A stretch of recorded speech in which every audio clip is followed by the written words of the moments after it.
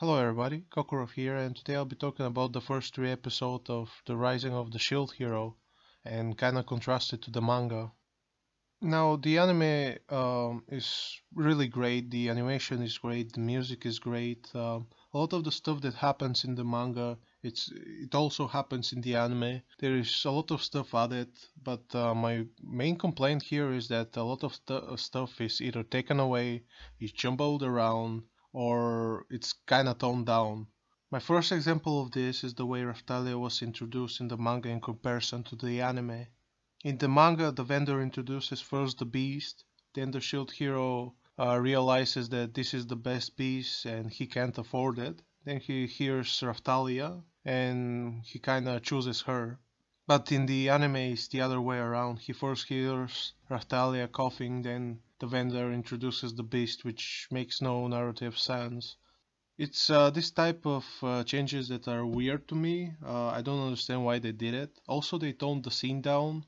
Uh, when he was buying her, he in the manga he also monologued. Uh, he said something equivalent to, "Oh, she's the same gender as that woman, uh, the woman that betrayed him in earlier parts." Also, that that scene itself was toned down. In the manga, I believe it's a little bit more edgier because she accused him of punching her in the face. In the anime, it's uh, she accused him of tearing her clothes down and trying to force her into a pretty dress. Also, in the second episode, when Raphtalia dreams about uh, how her parents died in a nightmarish sequence, it was also supposed to be kind of a flashback and trying to explain uh, the, how the shield hero protects the demi-humans. That was toned down. In the anime, I believe there are two different sequences. One it's a flashback and the other one it's a nightmare sequence. So they're kind of separate. Um, which is not a bad thing, of course, but uh, it's very toned down. In the manga, you can actually see how they're ripped apart. In the anime, it's a little bit more vague.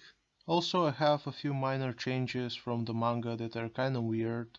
The first is the purple wave effect that the warping uh, monsters have when they come. In the manga it's like a cracking effect. Here it's too purple. It's a weird change, it's nothing to be upset about really. Another thing is the, the way the skill tree is altered. In the original it's uh, from left to right skill by skill here it's like um, Path of uh, Exile, which is like circles connecting to each other. The character himself uh, got confused as to what ability he has. Uh, another thing was the 3D hourglass. In the manga it's um, very simplistic, but here it's kinda this wow dazzling thing, 3D uh, effect. I believe it would have been better if it was a little bit toned down, because now it looks a little bit weird. Uh, also in episode 3 there was some horrible animation which worries me because this is a 26 episode show. Hopefully they will stay away from it and uh, stick to the quality animation that the first two episodes hold up. Also I hope they don't tone episode 4 because that's a very dramatic episode or will be in my opinion. Also, I have a complaint about the opening. They kinda spoiled Raphtalia getting older. They spoiled Philoria. They spoiled the minor antagonist also. So hopefully in the second opening they don't spoil pretty much everything else about the second arc. Also that's pretty much it. I don't care if they deviate from the manga. Uh, I just hope that uh, it makes sense narratively and it's good other than that, uh, I don't really care. It's not the best adaptation, but it's doing its own thing, and I like it very much. Very much. The first two episodes are great. The third episode could have been better, and we'll see in the future.